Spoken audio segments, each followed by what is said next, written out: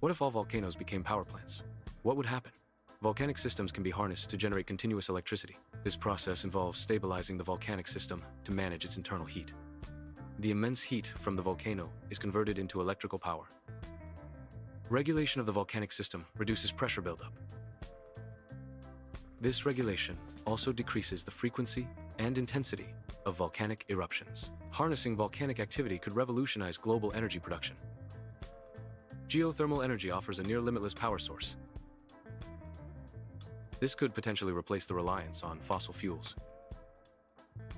Geothermal power could supply energy to cities, industries, and global infrastructure. A transition to geothermal energy would drastically reduce carbon emissions and stabilize climate patterns. Tectonic boundaries are poised to become major energy hubs, this transformation will reshape global geopolitics and economics. The shift is driven by the potential to harness geothermal resources in these regions.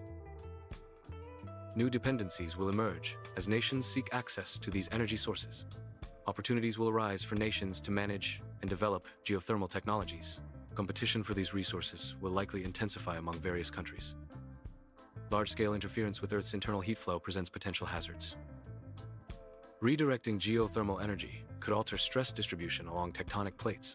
This alteration may lead to an increased frequency of earthquakes in unexpected areas. Rapid cooling of magma chambers is another potential consequence. Such cooling could destabilize the surrounding rock formations.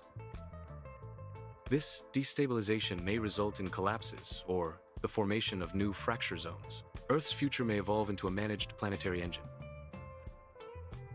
This future Earth remains dynamic, but is partially guided by human design. Volcanoes will transition into sources of controlled power generation.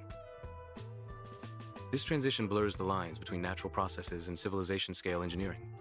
Careful monitoring and adaptive strategies are required for this managed system. Please, like, share, and subscribe for more content like this.